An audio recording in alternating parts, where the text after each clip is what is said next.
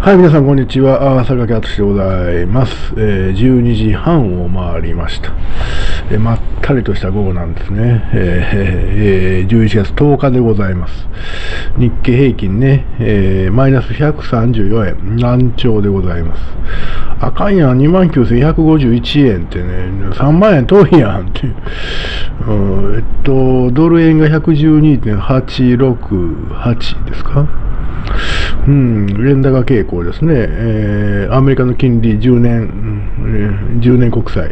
1.45、これも難聴ですね。あれだけ、原油だけ高いやん、84ドルって。まあまあ、好ましい方向ではないなという気がいたしますけどね、ドルウォン見てみましょうか、ドルウォン。昨日ね、ちょこちょこっと変な動きありましたけど、えードルウォン、えー1182、えーな、ちょっとあれですね、えー下降気味でございますけども、まあ、あの、出来高相当いってますね。はい。はいはい。これね、よう考えたら面白い動きでしたね。えーそれはまあ置いときましてですね、この、ここですね、日本国を揺るがしている、えー某ご夫妻えーの話題、毎日本当に出てきますね。えーいろんな動きがあってですね、ご家族の方がですね、見まから、見まかられたりとかですね、して、えーほいでほいでそれに、えー葬儀に参列したとかしないとか、参列したんですかね、えーですけども、あれ？って、いつになったら向こう戻んの？という、なんであんた今どんの？もしかしてあんた、え？仕事に戻るんちゃうの？ということですけども、戻っておられないですね、戻っておられずにですね、あのーもう一等地にあるこうマンション、貸し切りみたいになってるらしいですね。他誰もこう賃貸できないって。警察がぐるぐるにこう取り巻いてるという話で。なんなんやろなと。あの日本人のね誰もが思ってると思うんですよ。その世間知らずのお嬢様がですね何もこう世間のことわからないお嬢様にそのたちの悪い男が近づいてですね還元を浪して仲良くなってですねでまあ言うてみればですねまあ あの本当にないことを信じ込まされてるという構図ではないんかいという気がするんですけどもあのいやそうちゃうのと だんだんだんだんそう思えてきましたよね。なんか一流のねそのもしかしてあのうまいこといくんちゃうかとあの大方のなんていうのかなあのあれをこう器具を覆してですね、えー遠いところでですね、え幸せにお暮らしにならなられるんではないかというふうに期待感も高まっていたんですけどもあのですね あかんやんというあのあれが広まってですねなんなんやねこれと。でそのあかんやんっていうのもね本人が本あの多分ある程度分かってたはずなんです。自分で、えーあれを試験を受けてですねそれにこう受かるかどうかっていうのはあんな普通分かるでしょ。これはいけてるなとかこれはあかんかももしかしたらあかんやろなっていうのは自分の手応えっていうのとある程度分かるまいと思うんですよね。あのえー、それが、えー受かってたみたいなことはほぼない。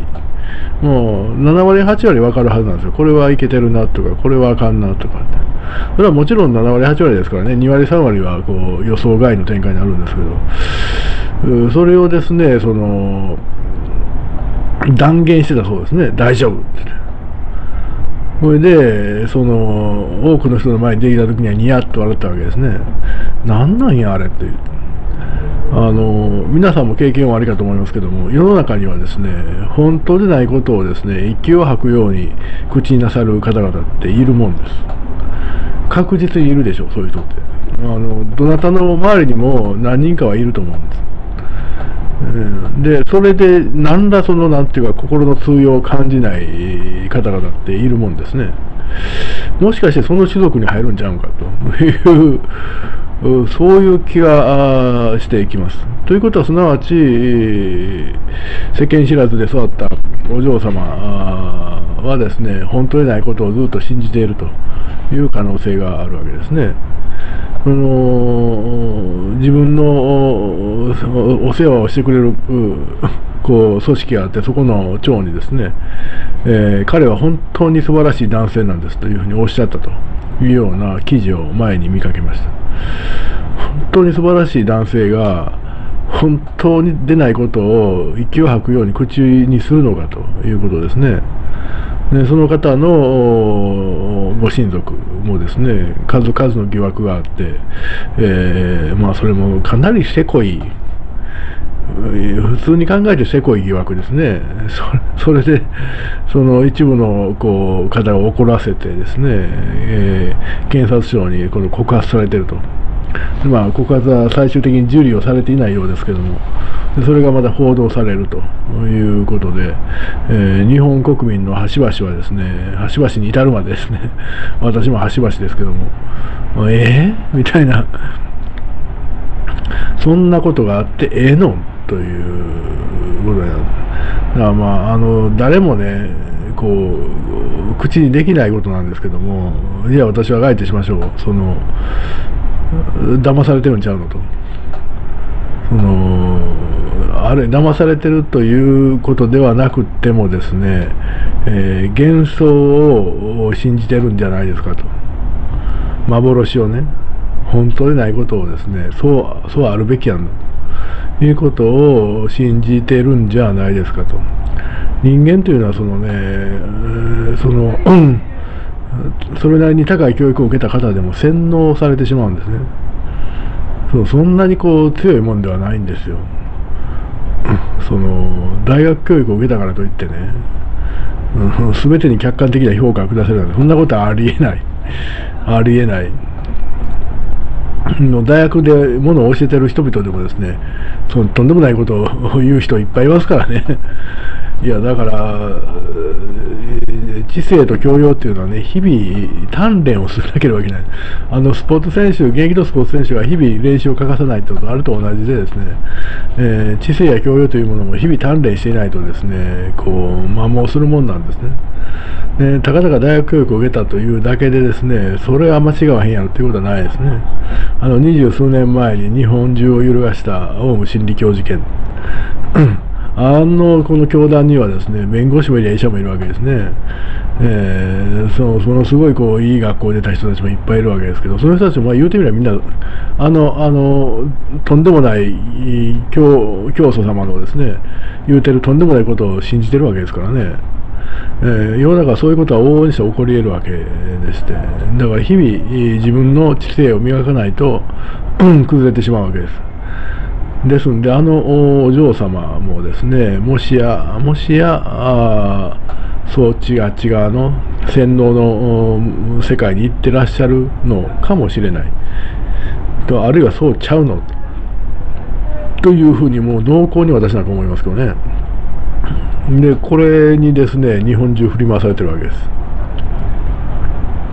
もう、もう、もう一番分かりやすい言葉で言ってしまうと騙されてるんちゃうのということですね。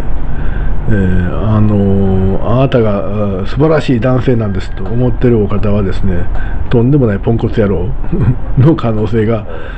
高まってるわけですねそれがこう客観的に証明されつつあるわけです、えー、ですんで、まあ、いち早く目を覚ましていただいてですね洗脳の世界から戻ってきてですねあの普通の世界にお戻りになる。うん多分日本国民もですね、えー、その元いらしたご実家の方もですねそれは多分受け入れる受け入れてくれるにやぶさかではないと思うんですけどね、えー、その彼女を洗脳してるあのお二人の方というのはですね、まあ、そんなにですね、こう、むちゃくちゃな、その、ことはないとは思うんですけど、要は、要は言うてみりゃ小さな悪ですね、えー、を司ってる人々ではないかなと。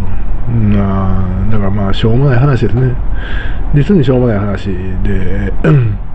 まあ言うてみれば怖くとですね、怖くと、だからね、えー、早く目覚めてほしいなと、切に願っているんですけども、なこのニュースを見ている限りはですね、物事がいい方向に進んでいるとは全く思えないと。まあそういう、こう、私は一国民として、えー、非常にこれは憂いていますというお話でございました。はい、皆さんどうもありがとうございます。